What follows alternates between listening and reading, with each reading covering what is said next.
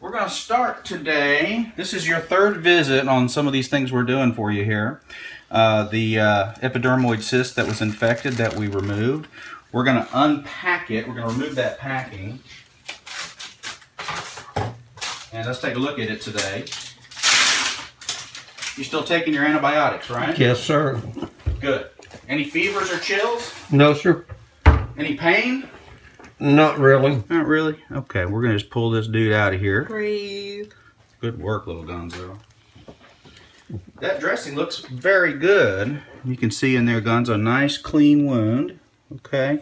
So guess what? We don't have to repack this for you today. Okay, good. We're going to just put a gauze on it and put a dressing over it. And the reason being is it's staying open by itself, so we don't have to worry about it closing up and forming a new abscess or anything like that. Okay.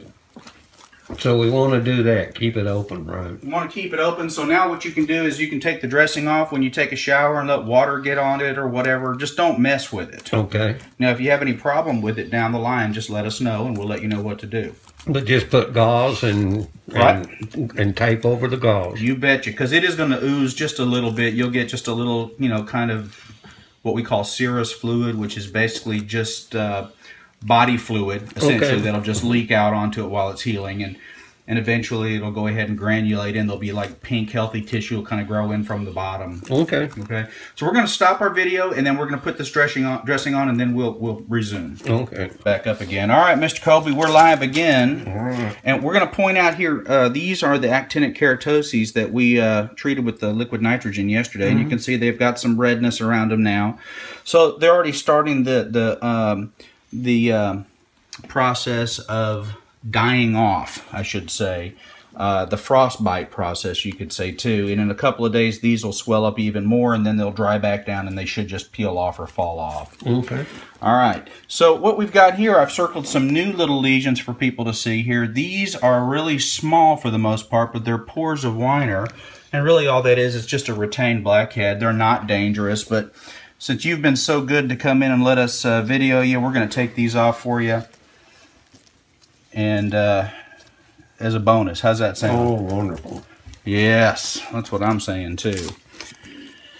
And after this, unless you have a new problem, you won't have to come back in.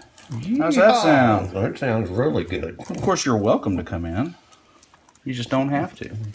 You know, except to bring Gonzo a Christmas gift. Okay. I think we made that one clear, right, Gonzo? Yeah. Okay, so we've Did got a, Gonzo have fun at the party yesterday? I had a blast. Okay. Mr. Gonzo came by actually. Yeah.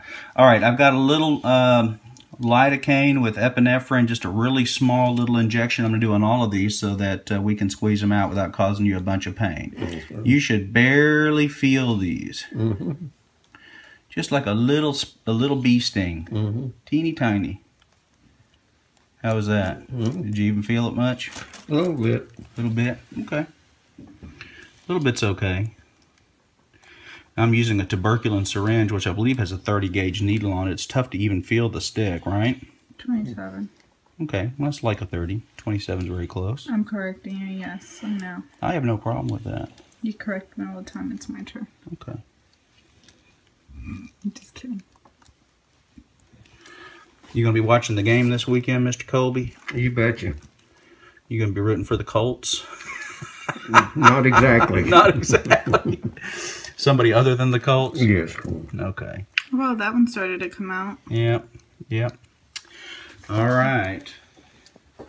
It's so funny. We got a couple little extractors we're going to use here. Is there one on my right? sh- Uh, uh, well, never mind. I'll. We can look at it when we get done with this one. Let's start right here. See if the, oh, let's take. Uh, you know what I didn't get was a scalpel. Do a timeout and let's get a scalpel. Sorry, okay. sir. I'm like using your back as a. she's she's leaning on you a little bit there. All right, we're gonna make a little nick here, and that's why we used the the lidocaine so that we could do this part here. Good. This one's a larger one you have up here in the mid upper back. Probably had this one a long time. This one not real terribly big. Come the other direction with it too. Can you see little Gonzo? I want to get close. Get a good picture. Trying to. And then I'm going to come way over here. Sorry if my hands are shaky. It's just you're so old, you know, you get shaky when you getting get old. old. yeah. All right, let's come back over here. Let's see if we can get this first one to jump out. A little pressure on it there. Do you feel much there? Mm-mm.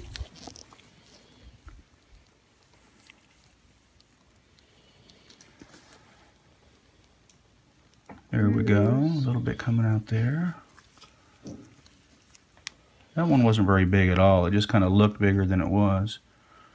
Push it again. Now, does that hurt? Or you just mm-hmm. feel the pressure? Doesn't hurt. Doesn't hurt. All right, let's get this one here.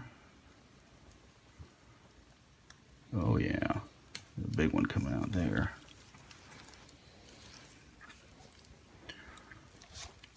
Push again this direction. Make sure it's empty. Yep, it's empty. Well, maybe right there.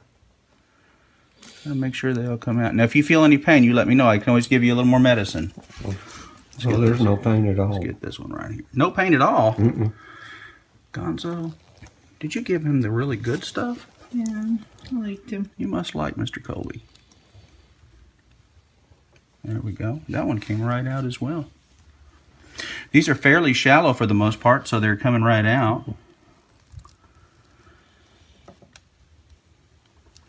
Yep, they're, they're not all... Oh, this one's really big, Gonzo. Looky there. Did that come out of there?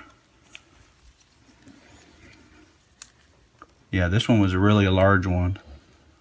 Now, did you feel a little more pressure on that one? Not no, you did not, huh? Mm-mm. Yep, that's empty. Good. Let's get this one right here. Can you see, little Gonzo?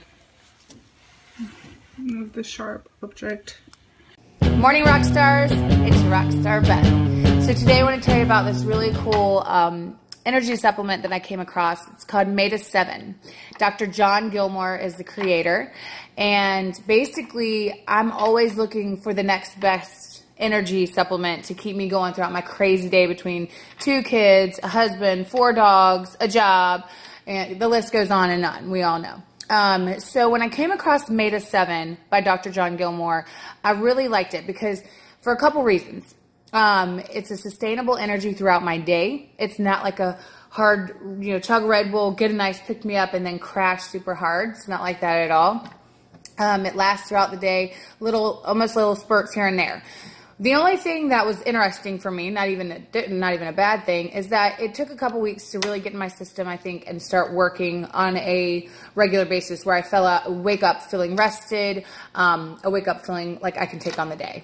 And that's how I felt today. So I definitely just want to share because I know there's a lot of you guys out there who have the same everyday struggles in life uh, to keep it going as I do. And this definitely helps. So if you want to give it a whirl, click on the description below and the link and um, get you some. So next time, guys. Too. Like a little one right there. You see that one, little Gonzo? You may feel a little bit on these. They're really small. So we're not going to inject them because the the sting of the injection is probably the same of just taking these out for you. You okay? Yeah, it's fine. If it hurts too much, you just say, hey, that one hurt, Doc, and Mhm. we'll immediately stop. You got a little whitehead right there. Got that for you. Got a little one right there. Come out. Let's try this one right here. There we go. A little bit there. When they're real small like that, they uh, a little trickier. There we go. So it's probably the reason here is I got lazy and quit using my back scrubbing brush. Well, I wouldn't say lazy. Maybe a little bit. You know. Maybe you just weren't that concerned about it anymore. That's all.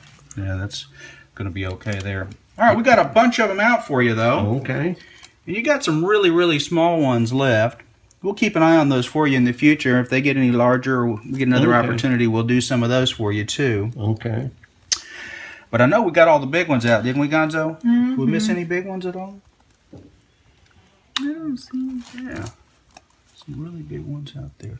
Yeah, wait, let's see if we can get that right there. There's one there. I think it's one of those things where if you just keep looking at it, you probably find another one here or there. Little bitty ones. That one didn't sting? Mm, A little bit, not much. Was it, when we get another one here? It's kind of addictive taking these out. My turn. Your turn. Should let Gonzo do them for you. She'd be good at it. There we go. There you go. You look pretty uh, spruced up there, except for the red spots all over and the big dressing on your back and, and the little blood stains. You look great. That's it. when I get up, I'll ask. ask Hang on, hang on. Oh, okay. You want to ask a question? No, I, I gotta get up. Okay, all right, all right. So we're going to stop the video here and we want to wish you a Merry Christmas. Okay. And we want to thank you for sharing with us. And um, we know you're going to heal well and uh, things are going to look great. And maybe someday in the future, when you come back for something else, we can do a little follow up and just take a picture of your back and show everybody how it turned out and how things look after you.